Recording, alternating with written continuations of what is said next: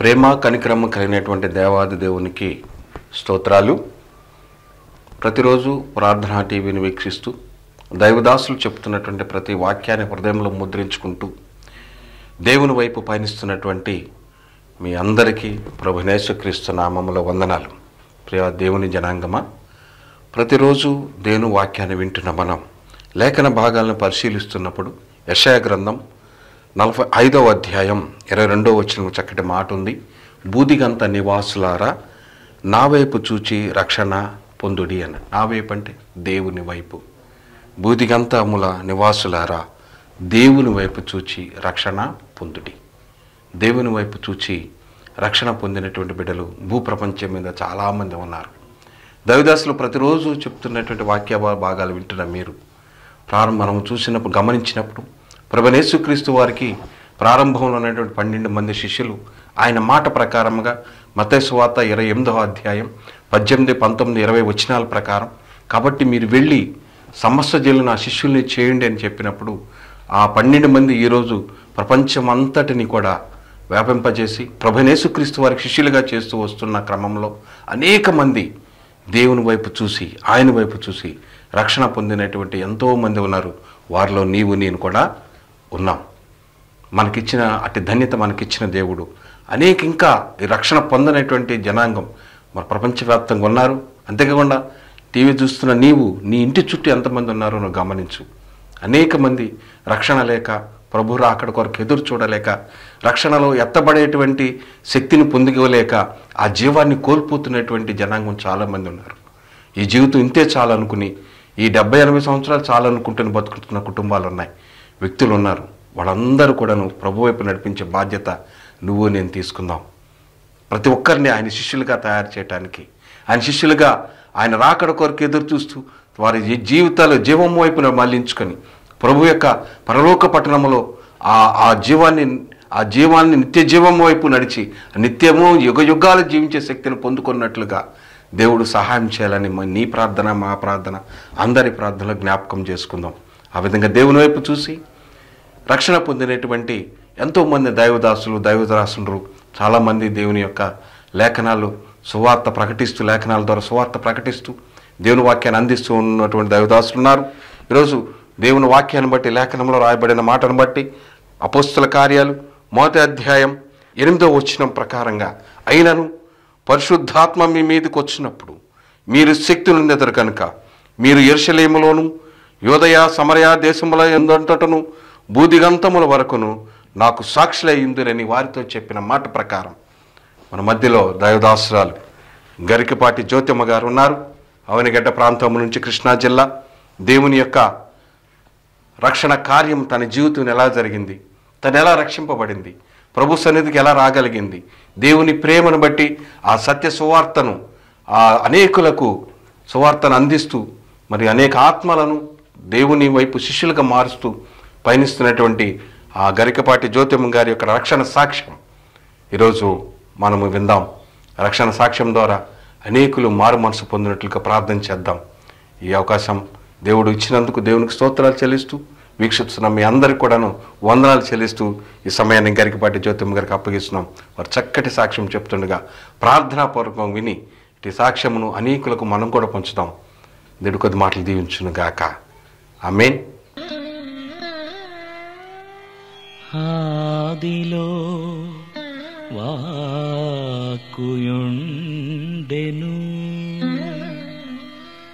ఆ వాక్కు దేవుని యొద్ద ఉండెను. ఆ వాక్కు దేవుడై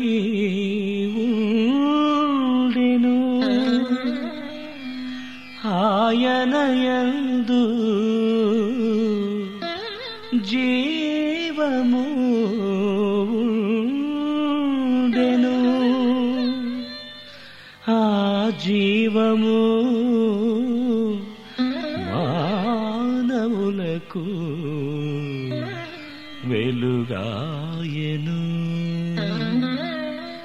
ఆ వాక్కులో మనము సంగమం.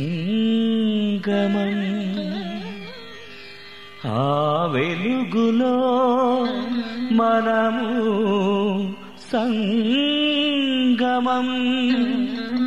ఆ క్రీస్తులో మనము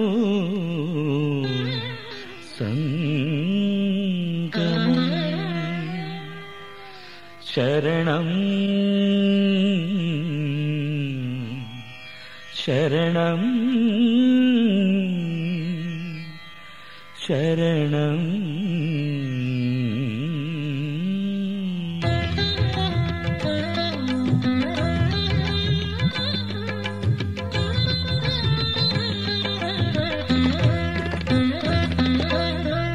ఆదిలో వాకైన శ్రీక్రీస్తా ఆదిలో వాకైన శ్రీక్రీస్తా.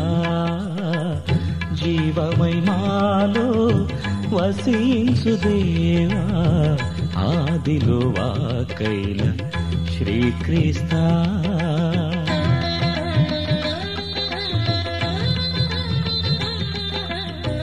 చీకటి నిండిన బ్రతుకులలో చీకటి నిండిన బ్రతుకులలో వెలుగై వచ్చిన శ్రీయేసా వెలుగై వచ్చిన శ్రీయేసా ఆదిలో వాకైన శ్రీక్రీస్తా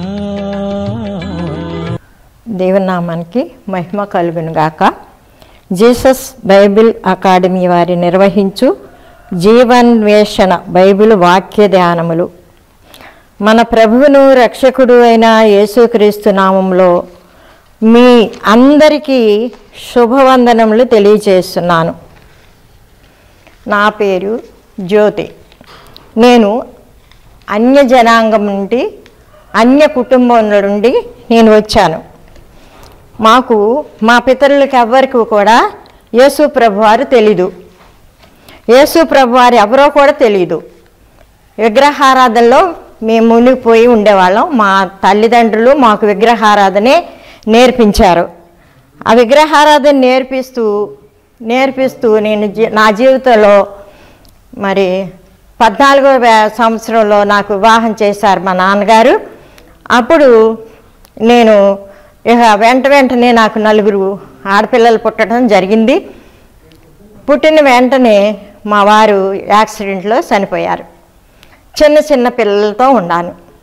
అప్పుడు నేను విగ్రహారాధికురాల్ని నేను ఒక కులానికి కూడా చెందిన దాన్ని ఏంటంటే కాపు. ఆ దేవుడు మనకు కాదు అనేవాళ్ళు. కానీ ఆ విషయం కూడా మాకు తెలియనిచ్చేవాళ్ళు కాదు. ఈ పురాణము రామాయణం సంస్కృతం భారతం ఇవన్నీ నేర్పిస్తూ ఉండేవాళ్ళు. ఎంత మట్టుకి రామ భజనలు చేస్తూ ఉండేవాళ్ళు. నేర్పించారు మా అమ్మగారు. వాటిని బట్టి నేను నా జీవితంలో ఎంతో జీవితాన్ని కోల్పోయా. నా యజమానుడు పోవటం అంటే నా చిన్న చిన్న పిల్లలు నలుగురు ఆడపిల్లలంటే ఎందుకంటే నలుగురు ఆడపిల్లలు ఒక్క మగ పిల్లడు పుడతాడని నేను అజ్ఞానంలో పడిపోయా. ఆయన దేవుడు నాకు నలుగురు అమ్మాయిలు ఇచ్చారు. ఇక నా యజమానుడు చనిపోయారు. ఇక నా పరిస్థితి ఎలా ఉండాలో అది ఆ దేవుడికి తెలుసు నాకు తెలుసు. కానీ నేను విగ్రహాల వైపు చూస్తూ ఏదో టైంలో విగ్రహం దగ్గర కూర్చుని శ్రీ వెంకటేశ వేస శేషాద్రి శిఖరివాస ఏ దారి లేని దాన్ని నాయన నన్ను నడిపించు మంచి దారి పెడదారి పడ్డానయ్యా చూపించు నాకు. మంచి దారిని చూపించమని ఆ పాట పాడుకుంటూ కన్నీళ్ళు కార్చుకుంటూ నేను విగ్రహాల వైపు తిరిగి ప్రార్థన చేసుకునేదాన్ని. అట్లా రెండు సంవత్సరాల తర్వాత నాకు ఒక అంగన్వాడీ జాబ్ ఇచ్చారు వచ్చింది అప్లికేషన్ పెడితే. దాన్ని బట్టి మా అమ్మగారు మా నాన్నగారు మా వారు చనిపోయిన రోజు నుంచి నన్ను విడిచిపెట్టల మా నాన్నగారు. నాకు ఒక తమ్ముడు ఉన్నాడు. ఇక మా అమ్మగారు అటు ఇటు ఉంటా ఉండేవాళ్ళు. మా నాన్నగారు మాత్రం చిన్నపిల్లలు అని చెప్పి విడిచిపెట్టల ఇక అక్కడి నుంచి నా జీవితం ఇంకా ఎట్లా ఉండాలో వినే సహోదరులందరికీ తెలుస్తుంది. అలాంటి జీవితం అజ్ఞాతవాసము అరణ్యవాసం మాకు ఊరు కూడా ఒక చిన్న గ్రామము దూర దూరంగా ఉండే ఇళ్ళు. అత్తిళ్ళు పుట్టిల్లు కాకుండా నా జీవితం అట్లా గడిచిపోయిందని నేను ఏడుస్తూ ఉండేదాన్ని. నాకు ఒక కుమారుడు కూడా లేడు. యజమానుడు కూడా చనిపోయాడు. నేనేం చేయాలని నేను ఏడుస్తూనే ఉండేదాన్ని. ఆ ఏడుస్తూ ఏడుస్తూ మరి నాకేమీ తెలిసేది కాదు. నా పిల్లల్ని అంతగా అంతగా కొంచెం కొంచెం ఎదుగుతూ ఉన్నారు. చదివించుకోవాలని ఆశపడ్డాను. బిడ్డలు చదువుకుంటూ ఉన్నారు. కానీ చదువు కోరుకున్నారు నా పిల్లలందరూ. కానీ వాళ్ళు మంచి ఆహారం పెట్టాలని కానీ మంచి వస్త్రాలు ఇవ్వాలని కానీ నా నలుగురు పిల్లలు ఎవ్వరూ కోరుకోలే. నా స్థితిని గమనించారు నా కుమార్తెలు నలుగురు కూడా. కొంచెం అన్నం పెట్టి పచ్చడేసి పంపిస్తే బాక్స్ తీసుకెళ్ళేవాళ్ళు. ఒక్క జాత గీసిన జాత మళ్ళా ఇంకొక రోజు రెండు జాతలు బట్టలతో వెళ్ళిపోయేవాళ్ళు. అలా నా పిల్లలు చదువుల్లో కొనసాగించారు. ఎందుకంటే నేను తక్కువ చదువుకున్నా. తొమ్మిదో తరగతి చదువుతూ ఉండగా మా నాన్న నాకు పెళ్ళి చేశాడు. నా భర్త గారు చనిపోయిన రోజున మా నాన్న ఏడ్చాడు. పెరిగే పెరిగే మొక్కని నేనే నా జీవితంలో నేనే పాడు చేసుకున్నాను నరికేశానని నన్ను ఒళ్ళో పెట్టుకుని మా నాన్నగారు ఏడ్చారు. నా బిడ్డలో ఆడపిల్లలైనా సరే నేను చదివించుకోవాలి అనేది నాకు ఒక తపన ఏర్పడింది. నాకు ఇరవై ఆరు నుండి ఇరవై ఏడో సంవత్సరంలో జరిగింది ఈ దుర్ఘటన. అప్పటి నుంచి నా బిడ్డలకి మంచి నేను హిందూ సాంప్రదాయకంలో ఉన్న నీతి న్యాయాన్ని బట్టే నడిపించారు. మరి మా అమ్మగారు ఒక పద్యం నేర్పించేవాళ్ళు. పరులనని తెచ్చుకొనకము బాధ ఎప్పుడు. పరులు అన్నారటంచును బాధపడకు. పరులు జోలేల నీకని పలుకునమ్మ చిన్నమ్మ మాటలు అని చెప్పి ఒక పద్యం మా ఇంట్లో ఆ ఫోటో కింద ఉండేది. ఆ పద్యం చదువుకునేదాన్ని నేను ఎవరిని అనేదాన్ని కాదు. ఎవరన్నా అంటే కొంచెం బాధపడేదాన్ని. బాధపడద్దని పద్యంలో ఉంది కానీ బాధపడుతుండేది నా మనసు. నేను అనటం మాత్రం అనేదాన్ని కాదు. ఇక ఇలా ఇలా నా జీవితం కొనసాగుతుంటూ ఉంది. నా రెండో కుమార్తెకి పది సంవత్సరాలు వచ్చినాయి. వస్తే ఆమెకి వ్యాధులు మొదలైనవి వ్యాధులు మొదలయ్యి నేను హాస్పిటల్కి తిప్పటం మొదలుపెట్టాను. ఒక వ్యాధికి మందులు ఇప్పిస్తే నా సంపాదన హాస్పిటల్ ఖర్చు. నా పిల్లల చదువులకే తక్కువ హాస్పిటల్కే ఎక్కువ ఖర్చు పెట్టుకున్నా. అలాంటి పరిస్థితిలో నా కుమార్తెకి ఇట్టి పరిస్థితిలో ఏ డాక్టరు కూడా నయం చేయలా. నా సహోదరులు కొంతమంది తెలిసిన వాళ్ళు అన్నారు మీరేసు ప్రభు నమ్ముకోండి. నమ్ముకుంటే పాపకి చక్కగా తగ్గిపోద్ది అన్నారు. అన్నప్పుడు నేను అంత తొందర పడలేదు నాకు నలుగురు ఆడపిల్లలు ఉన్నారు నాకు సంబంధాలు రావు.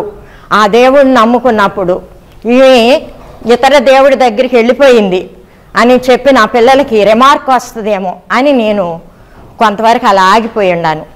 నేను ఎక్కడికన్నా ఊరు వెళ్తుంటే ప్రయాసపడి భారం మోయిస్తున్న సమస్త జనులారా నా యొద్దకు రండి నేను మీకు విశ్రాంతిని కలగజేస్తాను అని వాగ్దానం చదువుకునేదాన్ని. అప్పుడు నేను అనుకున్నదాన్ని. ఆ వాగ్దానం ప్రకారం నేను చాలా పాపం చేశాను. నేను తర్వాత పశ్చాత్తాపం పడి ఏడ్చాను. ఎందుకంటే మా దేవుళ్ళు తీర్చరా భారాన్ని?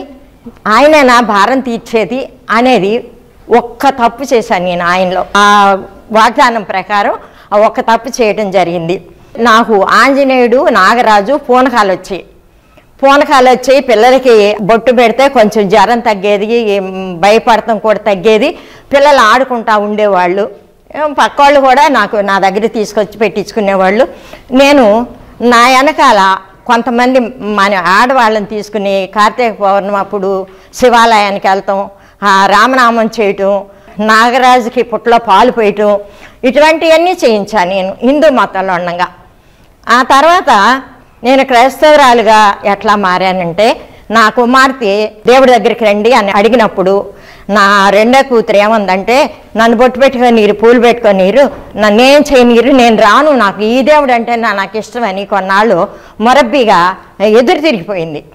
ఎదురు తిరిగిపోయిన తర్వాత దేవుడు ఊరుకోలేదు. దేవుడు ఆత్మ ఊరుకోనిలా దేవుని ఆత్మ మమ్మల్ని రెచ్చగొట్టేసింది. మా అమ్మాయి మంగళగిరిలో ఉంది. నేనేమో ఈ ద్వారకా అనే గ్రామంలో ఉన్నాను. ఒకరోజు రాత్రి గుడిలో హనుమంతుడు ఆంజనేయ స్వామి గుడిలో పూజారి స్వయంగా నా కళ్ళకు వచ్చి అంటున్నాడు కృష్ణుడి బొమ్మ క్యాలెండర్ చించే అయ్యయ్యో ఆ బొమ్మ చించబాకయ్యా దేవుడు బొమ్మయ్యా ఆ బొమ్మ చించొద్దయ్యా అన్న. అమ్మాయి ఇదంతా ఒట్టొట్టి దేవుడు కానీ నిజమైన దేవుడు ఉన్నాడు ఎల్లు అన్నాడు. అనేసరికి నిజమైన దేవుడు ఎవరైనా ఆయన అడగలా. నాకు చెప్తున్నారు మీరు వెళ్తున్నారా అని అడిగా. నేను వెళ్తున్నాను అన్నాడు ఊరందరూ నిన్ను పూజారిగా అట్టు పెట్టుకున్నాడే మరి ఊరందరినీ ఒప్పుకుంటున్నారా? నువ్వు నిజమైన దేవుడి దగ్గరికి వెళ్తాను అన్నాడు. వాళ్ళని చూడకుండా నేను వెళ్తున్నానమ్మా. వాళ్ళు నా దేవుడు పూర్తిగా నా పక్షాన్ని వచ్చినప్పుడు ఎవరేం చేయలేరు అన్నాడు.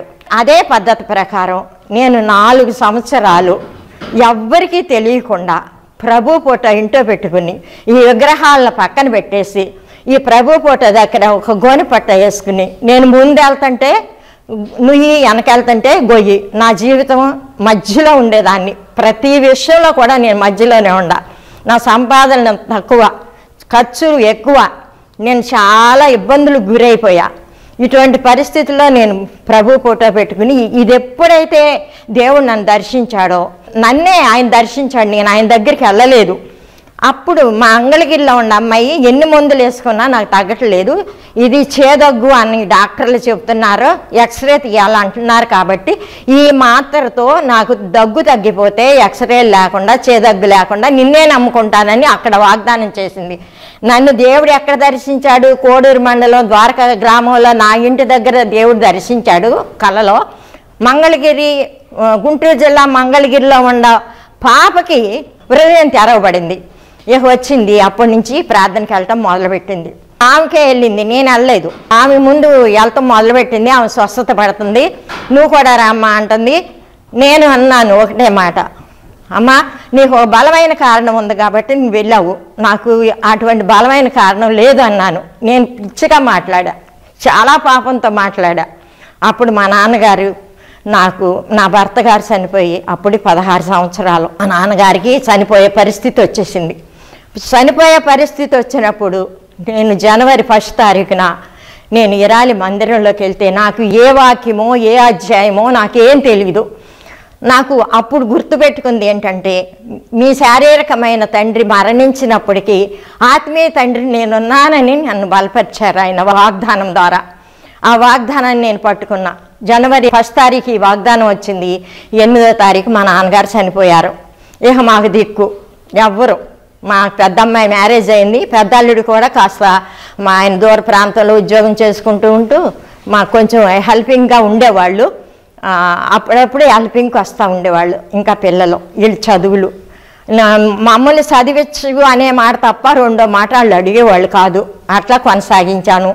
కొనసాగించిన తర్వాత ఇక నేను దేవుడి వైపు చూస్తాను. తండ్రి లేడు. నా తండ్రి నువ్వేనయ్యా. నాకు దిక్కు నువ్వేనయ్యా. నువ్వు తప్ప నాకు ఎవ్వరు లేరు ఇకను. నువ్వు నన్ను దర్శించావు. ఇక నువ్వు గొప్ప దేవుడు అని చెప్తున్నారు. విరిగి నలిగిన హృదయం నీకు ఇష్టమైన బలి అని వాగ్దానం అన్నది.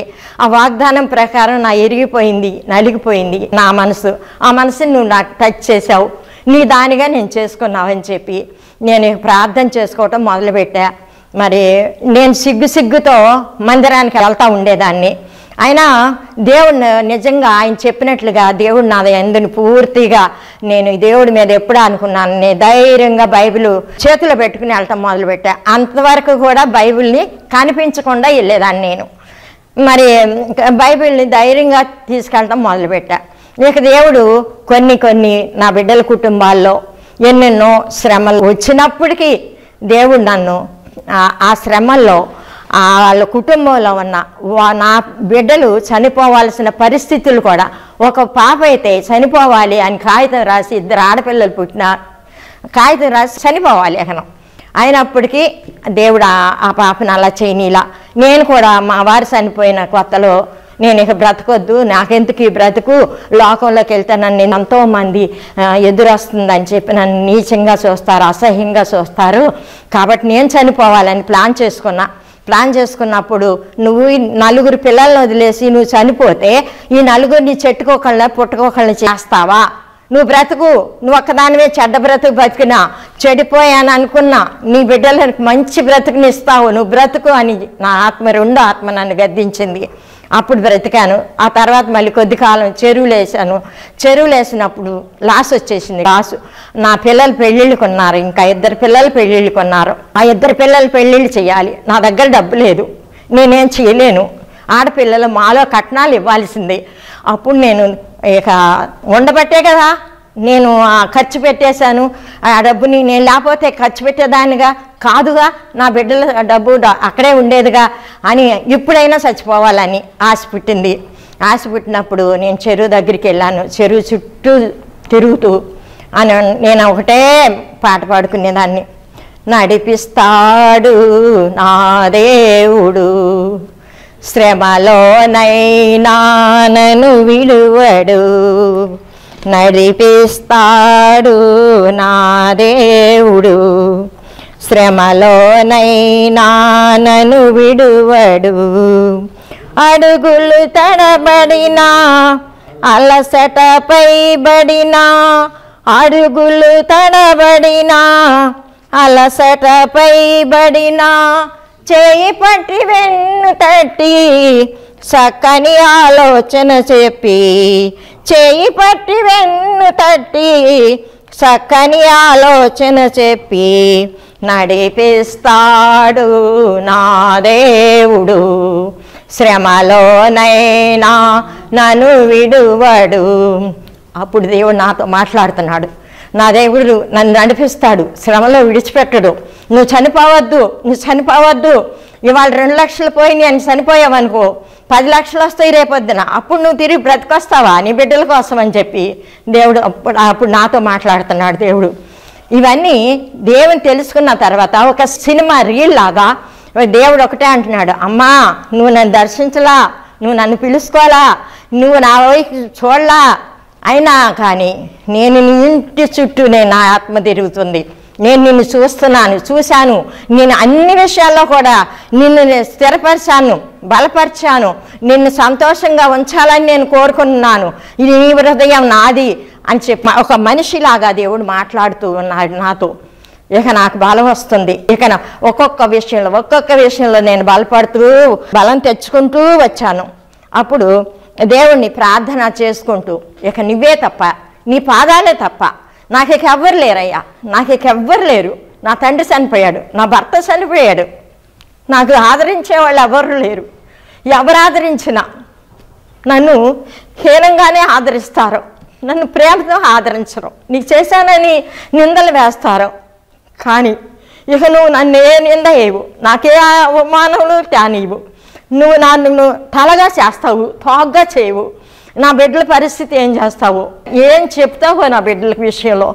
నన్ను ఎలా నడిపిస్తావనని చెప్పి ఆయన వైపు తిరిగాను. ఆయన మాట వినమన్నాడు దేవుడు. నా మాట వినమ్మా. నన్ను పోలి నడువమ్మా. నా ప్రేమను నువ్వు చూడమ్మా. నా ప్రేమ నీళ్ళని కనపడిపించమ్మా అని ఒక్కొక్కటి ఒక్కొక్కటి మాట్లాడుకుంటూ వస్తున్నాడు నాతో. ద్వితీయోపదేశ కాండం ఇరవై ఎనిమిది అధ్యాయంలో దేవుడు మాట్లాడుతున్నాడు. నీ దేవుడైన యహోవా మాట శ్రద్ధగా విని ఎడల నీవు ఏలాగున దీవించబడదు అని మాట్లాడుతున్నాడు దేవుడు. ఎలా దీవిస్తాను? నెలంతా నేను అంగన్వాడీ చేస్తుంటే నూట ఇరవై ఐదు రూపాయలకి జీతం నాకు. మా నాన్నగారు చిన్న బడ్డీ కొట్టు పెట్టేవాళ్ళు. పిల్లలను సాగించుకోవాలి కొనసాగించుకోవాలి. కుటుంబ భారం పెద్దది. మరి ఏ- ఏ భారం పెద్దదైనా ఏదైనా నెలాఖరి వరకు చాలదు. నాకు నెలంతా చాలదు. మేము సరైన ఆహారం కూడా తీసుకునే ప- పరిస్థితులు లేవు. సరైన వస్త్రాలు కూడా తీసుకునే పరిస్థితులు కాదు మాయి. నా పిల్లలు కూడా నాకు అనుకూలంగానే నడిచారు. ఇక ఇప్పుడు దేవుడి మాట వినినప్పుడు నీకు ఏదైతే సమృద్ధి అయినది కావాలో కోరుకుంటావో అన్ని సమృద్ధి అయిన ఆహారం కానీ సమృద్ధి అయిన జీవితాలు కానీ సమృద్ధి అయిన వస్త్రాలు కానీ సమృద్ధి అయిన మనసు శాంతి కానీ అన్నీ నేను ఇస్తానని చెప్పి దేవుడు అక్కడ మాట్లాడినాడు. అది ఆ వాగ్దానాలు పట్టుకున్న ఆ వాగ్దానాలు పట్టుకున్నాను. దేవుని వైపు తిరిగాను. మరి నువ్వు లోపలికి వెళ్ళినప్పుడు దీవించబడదు వెలుపలికి వచ్చినప్పుడు దీవించబడదు అని దేవుడు మాట్లాడి అన్నారు. మళ్ళీ నా మాట విను అని దేవుడు గద్దించినప్పుడు ఈ నూట ఇరవై ఎనిమిదో కీర్తనలో కూడా మాట్లాడుతున్నాడు ఆయన. యహోవయందు భయభక్తులు కలిగి ఆయన త్రోవలయందు నడుసు వారందరూ ధన్యులు. అబ్బా ఇంత ధన్యత నాకు ఇంత ధన్యత. ఇంత ఈ ధన్యత నేను పొందుకోవాలి. ఈ ధన్యత నా బిడ్డలకు రావాలి. నా నేను పొందుకోవాలని చెప్పి నేను ఉత్సాహంతో ఆయన వైపు తిరుగుతూ ఉండకొద్ది నాకు వచ్చే శ్రమలన్నీ డోంట్ కేర్ నువ్వే చూసుకో. ఇక నేను చూడను. నేను దిగులు పడ్డా విచారం పడ్డా రెండు సంవత్సరాలు అన్నం తినలేదు. ఆహారం మంచినీళ్ళతో బతికాను. అయినప్పటికీ ఇప్పుడు నువ్వన్నావయ్యా నీ ఆహారం నాకు చాలు. నీ వాక్యం నాకు చాలు. నీ మాట నాకు చాలు అని నేను ధైర్యంగా బతికాను. అప్పుడు దేవుడు నన్ను ఒక్కొక్కటి ఒక్కొక్కటి ఒక్కొక్కటి మంచిగా సీటు మొదలుపెట్టారు. నా ఇద్దరు కుమార్తెలకి జాబులు ఇద్దరు అల్లుళ్ళకి జాబులు గవర్నమెంట్ జాబులు. మరి మనవాళ్ళ మనవరాళ్ళు ఇవాళ మంచి పొజిషన్లోకి దేవుడు తీసుకొస్తున్నారు. ఈ లోకాన్ని బట్టి కాదు ఈ లోకంలో కావాల్సిన పరిస్థితులు కూడా ఉన్నాయి. ఎప్పుడంటే ఆయన మాట వినినప్పుడు ఆయన మాట విన్నాము ఆయనకు లోబడ్డాము ఆయన చేసిన కార్యాలన్నీ చూస్తున్నాము. మా అడగక ముందే అక్కర్లు ఎరిగి ఉన్న దేవుడు. కానీ నేను అడగకముందులే అక్కర్లు ఎరిగి ఉన్నాడు. కాబట్టి మరి నా నీచమైన బ్రతుకులో నీచమైన జీవితంలో ఆయన ఈరోజు నాకు ఒక నూతన జన్మనిచ్చి నూతన జీవితాన్ని ఇచ్చి నా సాక్ష్యాన్ని విన్న సహోదరులు సహోదరులు విని అనేక మంది నశించిపోతున్నారేమో వారి హృదయాలు. తెరిచి దేవుని వైపు చూసి దేవుడు గొప్ప దేవుడు. దేవుడు మన కొరకు వచ్చాడు ఈ లోకానికి. నీతిమంతుడైన దేవుడు మన నీతిని ఆయన చూస్తాడు కాబట్టి ఒకటే మాట దేవుడు పాపులకు దేవుణ్ణి రోగులకు వైద్యుడు అన్నాడు. నా పాప బ్రతుకు నుండి విడిపించాడు. నా బిడ్డలకు నా రోగాన్ని నుండి విడిపించాడు. ఆయన ఆ రెండు కార్యాలు నాకు చేశాడు. మరి ఇప్పుడు అందరికీ చేయాలని ప్రతి ఒక్క సహోదరి సహోదరులకి మరి దేవుడిని తెలుసుకొని ఆయన మాట వినాలని నేను కోరుకుంటూ ఈ సాక్ష్యము దేవుడిచ్చిన మాటలన్నీ కూడా హృదయంలో తలంచుకుంటూ దినదినము కూడా ఆయన మర్చిపోకుండా దినదినము కూడా ఆయన మర్చిపోనేయకుండా ఆ జీవితాలు కొనసాగించాలని మరి ప్రభువుని నమ్ముకుంటున్నారు వెనక్కి వెళ్ళిపోతున్నారు వెనక్కి వెళ్ళిపోయిన జీవితాలు కొంచెం ఇబ్బందికరములు కష్టతరములుగా ఉంటాయి. దయచేసి నా మాటలు విన్న ప్రతి ఒక్కరు కూడా ఎవ్వరు వెనకెళ్ళొద్దండి. ముందుకు అడిగేయండి. మీకు అన్ని సమర్థవంతమైన సమర్థమైన జీవితాలు సమర్థవంతమైన ఆశీర్వాదాలు. కాసిపాకిళ్ళు పటజాలనంత ఆశీర్వాదాలు మన కుమ్మరిస్తాడని దేవుడు ఈ సాక్ష్యము మీరందరికీ తెలియపరుచుకుంటున్నాను. కాబట్టి నా సాక్ష్యం అన్నవారు ప్రతి ఒక్కరూ కూడా మరి యశోప్రభు వారు ఒక కులానికి కాదు ఒక మతానికి కాదు ఒక జాతికి కాదు. ప్రభు అందరికీ దేవుడే. అన్ని జాతుల వారికి దేవుడే. అనే మనం పెట్టుకున్నాం. అన్న మానవులంతా ఒకటే. మానవులకి అంతా శరీరం అంతా ఒకటే. రక్తం ఒకటే. కానీ మరి ఒక కులాలని పేర్లు పెట్టుకున్నాం. ఎందుకంటే అలనాడు బైబిల్లో ఉంది పన్నెండు మంది యాకోబు పిల్లల విషయంలో అక్కడే వచ్చింది ఈ కులాలు భేదాలు. కాబట్టి ఈ రోజున ఎవ్వరూ కులమత భేదాలు అనేది తీయొద్దండి. కాబట్టి ప్రభు అందరికీ దేవుడు కాబట్టి ప్రభువునే కొలుసుకుందాం ప్రభుతో ఉందాం ప్రభుతో నడుద్దాం. మనకి అష్టైశ్వర్యములు కలగజేసి దీర్ఘాయుష్మంతులుగా ఆరోగ్యవంతులుగా దీన మనస్కులై మనం ఉంటాము. కాబట్టి ఆయనని వెళ్ళవేళలా కృపతో నింపుకుందాం. దేవుడి మాటలను దీవించి ఆశీర్వదించును గాక ప్రార్థన చేసుకుందామండి. హలేలుయా స్తోత్రం స్తోత్రం స్తోత్రం తండ్రి మహోన్నతుడా మహాగణుడు మహాపరిశుద్ధుడు అయిన దేవా నీకు వందనాలు స్తోత్రాలు తండ్రి. నీ ఘనమైన నామానికి నీకే స్థుతులు స్తోత్రాలు కృతజ్ఞతలు ప్రభ. మీరు చేసిన ఉపకారాలకై మేలులకై నీకు వందనాలు నాయన. మీరు మాకు ఎన్నో మేలులు చేశారు నాయన. అవి మరవకుండా దినదినము కూడా ప్రతిదినము కూడా నాయన తలంచుకుని నా తండ్రి మేము కృతజ్ఞతలు చెల్లించుకునే వారముగా ఉండాలని నాయన ఆశపడుచున్నాం అట్టి ఆశను. ఇదిగో నా తండ్రి ఆశీర్వాదములు నాయన వెయ్యి తరముల వరకు ఇస్తానన్నావు. శాపగ్రస్తం అయితే నాలుగు తరాల వరకు వెళ్తుందన్నావు ప్రభా.